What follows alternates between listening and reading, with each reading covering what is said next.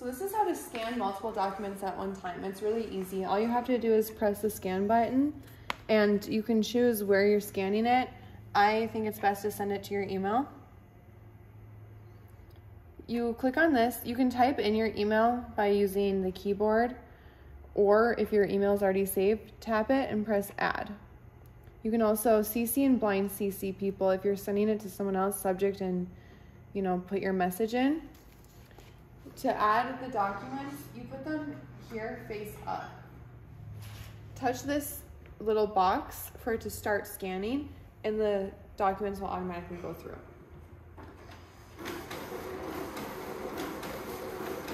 As you can see, they're already showing up here on the screen. You can navigate your different documents by selecting that button. You can scroll and tap them to open them, delete them, alter it in any way. And finally, to email it to yourself, all you have to do is press send.